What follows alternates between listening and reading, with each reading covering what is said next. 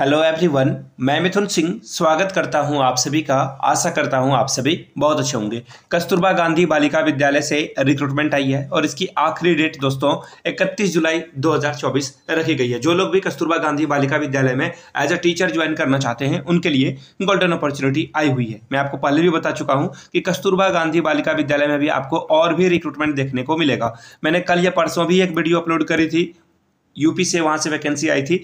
एक वीडियो में आज रात को झारखंड के लिए अपलोड करूँगा कि जहाँ से झारखंड में, याद रखिएगा सीटेड वाले बच्चे भी अप्लाई कर सकते हैं इस वैकेंसी को। तो वो भी वैकेंसी मैं आप लोगों के लिए जो है दोपहर या फिर रात तक मैं अपलोड कर दूँगा। और रही बात जेटेड के सिलेबस की तो उसके ऊपर भी एक डेडिकेटेड वीडियो में बनाना चाह रहा हूँ। लेकिन ऑफिशियल नोटिफिकेशन कुछ आया ही नहीं है। मैंने चाहता हूँ कि आपको जो है, झूठ मूठ को कोई भी वीडियो देखकर अपना समय जो है बर्बाद करना पड़े। तो चलिए, जो गुड न्यूज़ है वो मैं आपके साथ बताता हूँ। देखिए, भर्ती आ चुकी है और आपको कमर कर लेना है और अप्लाई कर लेना है। चलिए, सीधे मैं आपको पीडीएफ की ओर लेकर चलता हूँ। ये देखो इनका पीडीएफ और पीडीएफ से याद आया, ये पीडीएफ आपको हमारे टेलीग्राम चैनल पर मिल जाएगा। कहाँ मिलेगा? टेलीग्राम चैनल पर टेलीग्राम चैनल का लिंक आपको नीचे कमेंट बॉक्स में भी मिल जाएगा और डिस्क्रिप्शन बॉक्स में भी मिल जाएगा। तो टेलीग्राम को ज्वाइन कर लीजिए और एक एक करके सारे वैकेंसीज को हम लोग चेकआउट करते हैं। तो देखिए, पूर्णकालिक शिक्षिका आई है अंग्रेज़ी सब्जेक्ट के लिए और यहाँ से आप देख पाओगे चौबीस हज़ार दो सौ रुपये अब जो है सैलरी बढ़ाकर कर दी गई है।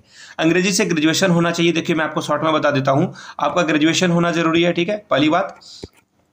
दूसरी बात, यहाँ पे आपका बीएड होना भी ज़रूरी है मैंडेटरी है ये। तीसरी बात, अगर आपने सीटेट का पेपर टू क्वालिफाई कर रखा है सीटेट अगर आपने पास कर रखा है तो भी आप अप्लाई कर सकते हो। तो ये तीन क्राइटेरिया एटलीस्ट आपके पास होना चाहिए। अगर आपके पास एक्सपीरियंस है, कहीं आपने पढ़ा रखा है तो भी काम में आएगा। और मिनिमम एज पच्चीस मैक्सिमम पैंतालीस एज रखी गई है। ये चार जो है क्राइटेरिया होना ही चाहिए, तभी आप यहाँ पे अप्लाई कर पाओगे।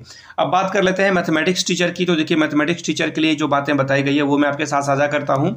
मैथ्स के लिए देखिए, आपसे पूछा गया है पीसीएम फिजिक्स केमिस्ट्री मैथ अगर आपने ग्रेजुएशन में पढ़ी है तो आप अप्लाई कर लीजिए यहाँ पे। साथ में पेपर टू सी का होना चाहिए बीएड वाले ही अप्लाई कर सकते हैं और एज जो मैंने पहले भी बताया था, पच्चीस ही होना चाहिए।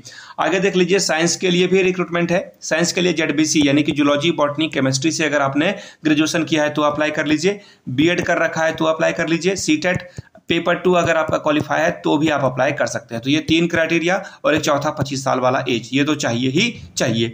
आगे देख लीजिए एजुकेशन शारीरिक शिक्षा के लिए जो है यहाँ पे वैकेंसी है। इसके लिए स्काउट गाइड एवं शारीरिक शिक्षा के साथ अगर आपने बीपीएड सीपीएड करा है या फिर डीपीएड करा है तो आप अप्लाई कर दीजिए।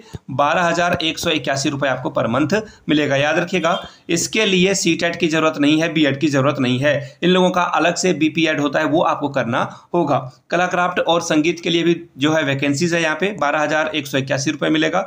ग्रेजुएशन के साथ अगर आपने प्र, जो प्रशिक्षण डिग्री है, यानी कि सीधी सीधी बात है, ट्रेनिंग ले रखी है, आपका काम बनेगा। कंप्यूटर शिक्षा की बात करें तो यहाँ पे भी बारह हज़ार एक सौ इक्यासी रुपये मिलेगा। कंप्यूटर के लिए जो ओ लेवल है, वो अगर आपने किया है पीजीडी से किया है बी किया है तो भी आप अप्लाई कर लीजिए। चौकीदार सहायक रसोईया, चपरासी के लिए भी जो है वैकेंसी जो है देखने को मिलेगा। आगे देख लीजिए। यहाँ पे जो इंपॉर्टेंट बातें बताई गई है, वो आप यहाँ से देख लीजिए। आवेदन करने के साथ 25 गुना 10 का जो है, दो लिफाफा आपको जो है, अंदर में जो है अटैच कर देना है। एक बड़ा सा लिफाफा लोगे, उसके अंदर दो लिफाफा और उसके ऊपर जो है टिकट चिपकाना अनिवार्य है। तो कौन सा टिकट चिपकाओगे आप? इन्होंने देखिए बता दिया निर्धारित। अब यहाँ पे निर्धारित कहीं कुछ मुझे दिखा नहीं तो मिनिमम आप चालीस चालीस रुपए की टिकट चिपका दोगे, साथ में अपना एड्रेस भी लिख दोगे। दो लिफाफा दोनों पे एड्रेस चालीस रुपए का टिकट, साथ में matric inter graduation post graduation B Ed या फिर आपने सी टेट का पेपर टू कर रखा है यूपी टेट कर रखा है, कुछ भी कर रखा है, वो आपको यहाँ पे अटैच कर देना होगा। ग्यारह महीने, उनतीस दिनों के लिए जॉब रहने वाली है मिनिमम एज जो है पच्चीस मैक्सिमम पैंतालीस रखी गई है एज के बारे में मैंने आपको बता दिया। अब देखिए, ये रहा इनका अप्लीकेशन फॉर्म इस अप्लीकेशन फॉर्म के थ्रू ही आपको अप्लाई करना होगा। अब यहाँ पे देख लीजिए अप्लाई आपको कहाँ से करना है? तो देखिए, कार्यालय, जिला बेसिक शिक्षा अधिकारी, शिक्षा भवन कचहरी, चौराहा, झांसी से ये रिक्रूटमेंट है। यानी कि झांसी कहाँ पे आपको देखने को मिलेगा? यूपी में देखने को मिलेगा। तो झांसी से वैकेंसी आई हुई है। जो लोग भी अप्लाई करना चाहते हैं, वो अप्लाई कर लीजिए। साथ में याद रखिएगा, जो बड़ा लिफाफा आप लोगे ना, उसमें आपको क्या करना होगा? यहाँ पे अपना सब्जेक्ट का नाम लिख दोगे आप। जैसे सपोज़ कर लो कि मैं इंग्लिश टीचर के लिए जा रहा हूँ तो यहाँ पे इंग्लिश लिखूँगा। साथ में अपनी कैटेगरी भी लिख दूँगा। अगर मैं यूआर से हूँ तो यूआर लिखूँगा। अगर मैं ओबीसी से हूँ तो ओबीसी लिखूँगा।